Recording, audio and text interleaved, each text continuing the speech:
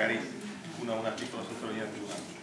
Rispetto alla questione dei difetti attuativi, secondo me uno dei, dei, punti fondamentali su cui occorre mettere una grande attenzione, proprio in particolare rispetto alla realtà dei istituti comprensivi, intesi anche proprio con la struttura, le risorse che hanno, è la questione di togliere il più possibile tutta la parte di natura burocratica amministrativa che in questi anni è stata rovesciata addosso, che toglie e assorbe un sacco di risorse, di energie e di tempo rispetto a quello che è tutto sommato il cuore sostanzialmente dell'organizzazione di, di, un mondo che comunque ha una sua complessità, appunto facendo convivere l'infanzia eh, primaria, secondaria e secondo grado con tutto quello che ne deriva. Per cui una raccomandazione, se si può dire in questo senso, cioè che ci sia davvero, come è scritto anche nei vari punti, questo senza magari ripercorrere, non so quale può essere la strada di una volta, no? tutta una serie di competenze che poi dagli uffici, dagli lavoratori editorati erano stati attribuiti alle scuole, però è un dato, un dato abbastanza reale questo.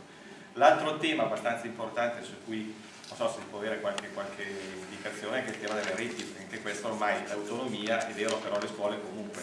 vuoi per dimensioni, vuoi per territorio eccetera, comunque devono stare a un sistema più ampio e uno dei punti anche questo è importante della riforma, ecco, rilancia e dà appunto un ruolo significativo anche al tema delle reti. Terzo, mi riaggancio un po' alla preoccupazione condivisibilissima perché tutti siamo alle prese col collegio per questa storia del post triennale eccetera, rispetto all'organico di potenziamento che stiamo vivendo di fatto giorno per giorno, settimana scorsa eravamo tutti a Milano, aspettavamo di avere qualche risposta, non c'era ancora, se c'è qualche news dell'ultimo momento,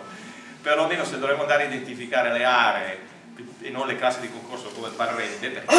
dovendo comunque fare un post triennale che tiene anche conto anche di questo organico di potenziamento, pur con tutta la rivedibilità dell'aggiornamento eccetera, però non possiamo completamente neanche costruire al buio. E l'ultima cosa, non so se un bis o meno, o se riapre qualche cosa, visto che è talmente complessa questa riforma, io credo che però dal punto di vista della comunicazione sarebbe stato bisogno diciamo, di, di uno sforzo maggiore forse, nel senso che a proposito per esempio dei presi sceriffo a me veniva da, da sorridere quando le grandi richieste che ho avuto all'inizio dell'anno dei genitori, degli alunni di sostegno erano ma perché lei non può tenere lo stesso insegnante di sostegno dell'anno prima? Quando è oggettivamente di fatto impossibile che ciò avvenisse. Quindi perché leggendo spesso anche informazioni non corrette purtroppo sulla stampa si è ingenerata davvero questa sorta di, di potere come dire, immesso che nella realtà dei fatti non c'è